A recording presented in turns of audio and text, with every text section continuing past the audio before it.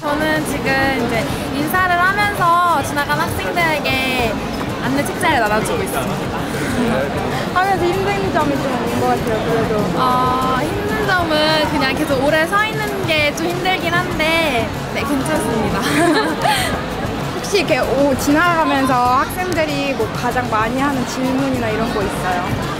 그냥 항공 서비스 학과다 보니까 키 커야 되지 않냐, 이뻐야 되지 않냐 이런 질문 많이 하시는데 그런 거랑은 전혀 상관이 없습니다.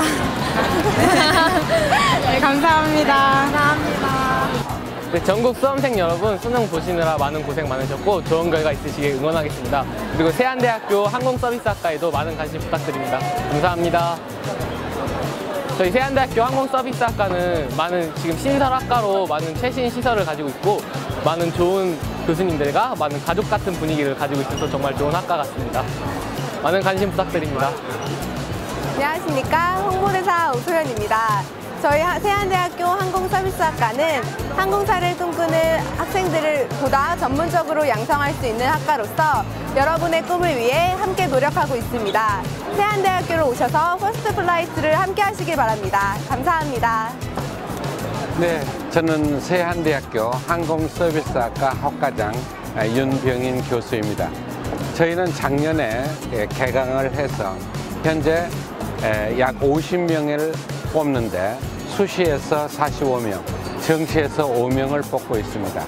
정시에서 현재 저희는 나군에 소용돼 있고 성적은 수능 70%, 내신 30%로 하고 있습니다.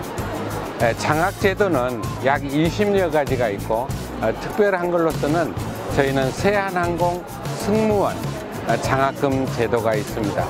그 외에도 약 20여 가지의 장학금이 있어서 여러분들이 조금만 노력하면 장학금의 혜택을 대부분 받으실 수 있습니다.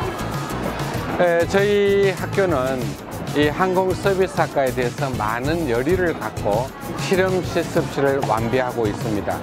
이 학교의 열의를 보고 저희 학과를 지원해 주시기 바랍니다.